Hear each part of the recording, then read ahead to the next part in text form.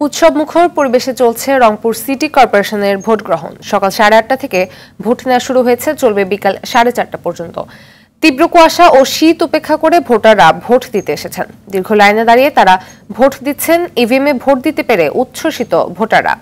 Lance school and college কেন্দ্রে আওয়ামী লীগের mayor প্রার্থী হোসনারা ডালিয়া ভোট দিয়েছেন। তবে আঙুলের ছাপ না মেলে প্রথমে ভোট দিতে না পারলেও পরে ভোট দেন জাতীয় পার্টির মেয়র প্রার্থী মোস্তাফিজুর রহমান মোস্তফা।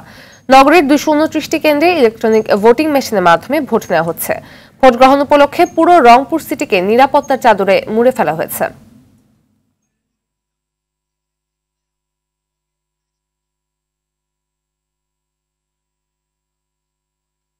এই পদ্ধতি আসলে কখনো আমরা জানি না দেখতে জানি না এটাই প্রথম। খুব ভালো লাগতেছে। দিতে এসে ভালোই লাগতেছে। শীতের কুয়াশায় দেখা যাচ্ছে না কাউকেও কিন্তু তারপরে মাঠ ভর্তি। আমাদের প্রার্থী পছন্দের প্রার্থীকে আমরা ভোট দেবো। এখানে কোনো বিশৃঙ্খলা নাই খুব সুন্দর পরিবেশ। আমি আলো স্বল্পতার কারণে এবং ভুলবশত আমার মেয়র পদে ভোট আর সংরক্ষিত মহিলা আসলে এটা বলতে ভোট আমি দিতে পারলাম। কীভাবে নির্বাচন করবেন? একটা একটা বুথে যদি মনে করেন একটা ইভিএম এ পঞ্চাশটা ভোট পোল হলো।